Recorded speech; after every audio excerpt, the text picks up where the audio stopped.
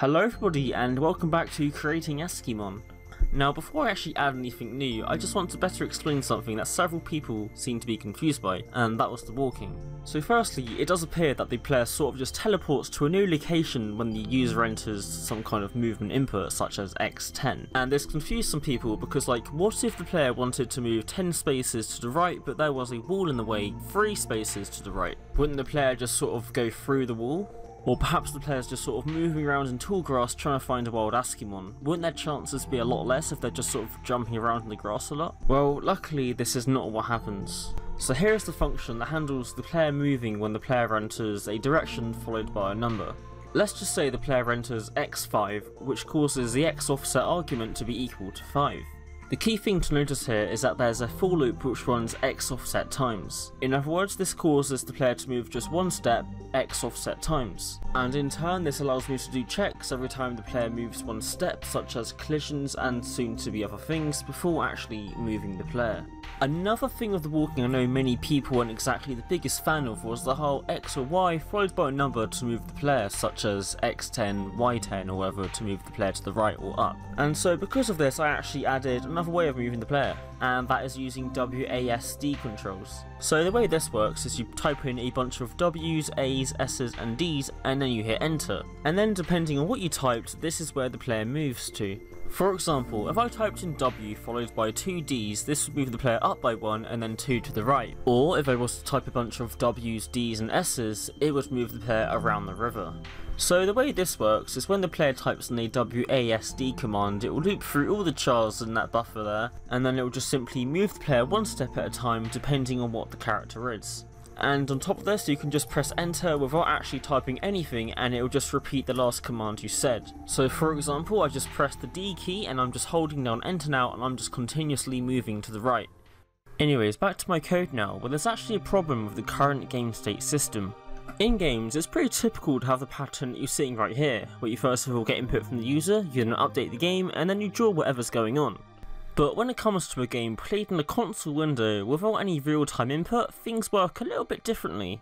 Right here is the input function for exploring the world. Whenever I was getting user input, I was basically just throwing whatever they said into a value, and then later on in the update function, I was then just using this value to update the game.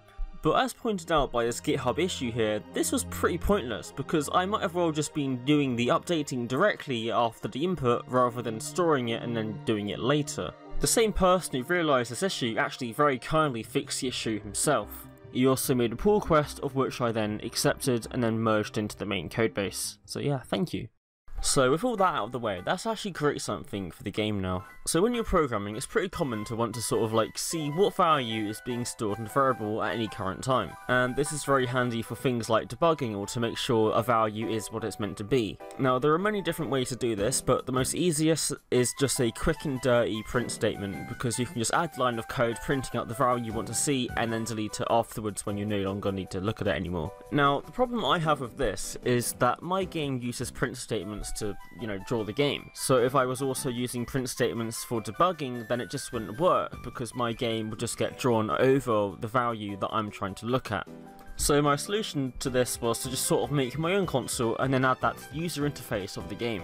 So the way this works is I created a struct called console and then just pass that into the game state's update and draw functions so that they can use it. This console struct has a function called write which basically allows them to write a string to the console which then stores that string into a vector. And then each loop of the game, this vector of strings will just get reprinted to the user interface through a render section dedicated to the console. So this can be seen working here where the console is on the right hand side of the user interface. For testing purposes I just print out the player's new position every time they move. I also added colour support as you can see when I use WASD commands it's printed out as green but when I use the X10 Y10 commands it just gets printed out as white. So this new console interface could actually be used for a lot more than just debugging purposes so for example, you might be talking to someone in the game and whatever they're saying could get printed out to this new console. Or it could be used to print out instructions when the player types in a help command which tells the user the controls for how to play the game. So anyways, the next thing I wanted to do was continue what I started in the last video by expanding on exploring the world. And the thing I wanted to add was support for portals, where portals are tiles that take the player to somewhere else, such as doors to enter buildings, stairs to change floors, ladders to also change floors, or just entrances to things such as caves. So to do this I created a struct called Portal, which just holds a little bit of information about where it goes to. Let's just take for example this portal at the bottom of this Pokemon Center that we'll just say is in Lilycove City. The world destination of the portal is the map chunk coordinate within the world where the portal goes to. For example, this portal would go to a chunk which represents Lilycove City. And then the local destination is the offset from the top left corner of that chunk.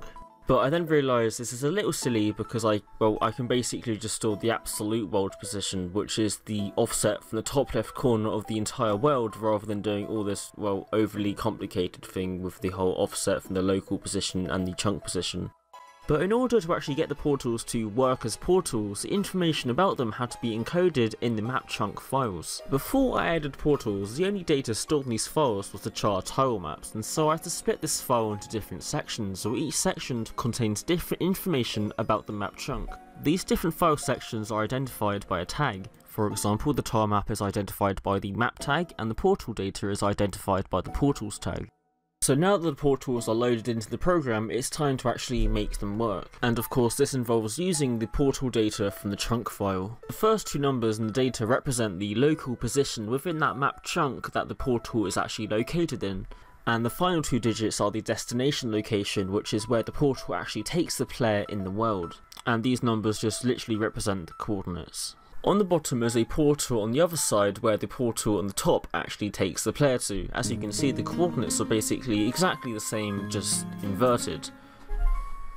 So anyways, after all of that, it's simply a matter of checking if the player is standing on the portal each time the player moves, and if they are, then just simply move them to the destination location. So this can be seen working here, where the one symbol is representing the portal, just so you can see where it is. So within this map chunk, the portal is located at the coordinates 916 and it takes the player to the world coordinates of 102.23, which can be seen by the data on the right. When the player stepped from the portal, it took the player to that location, which can be seen by the numbers at the top of the console on the right side of the user interface. So this portal, located in a different chunk, is at the local coordinates of 223 and when stepped on it will take the player back to the coordinates of 916.